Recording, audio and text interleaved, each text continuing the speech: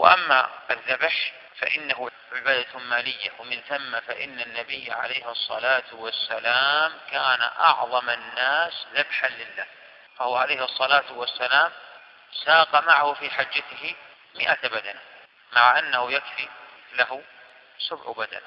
هو عليه الصلاة والسلام أخذ قطيعا من الغنم وذبحها ووزعها. هو عليه الصلاة والسلام نحر عن نسائه البقر.